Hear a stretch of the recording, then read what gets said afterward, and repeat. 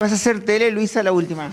Voy a hacer algo que ya estoy ensayando en la TV pública, un proyecto de ficción de unos que son como episodios individuales, cada uno de media hora, de dos actores o actrices. Yo voy a hacer uno con Laura Novoa, así que grabamos la semana que viene. Y bueno, y aparte tengo dando vueltas una miniserie de ocho capítulos con un enorme compromiso de protagonismo, así que vamos a ver si finalmente se da todo para poder hacerlo. Una genia, te agradezco.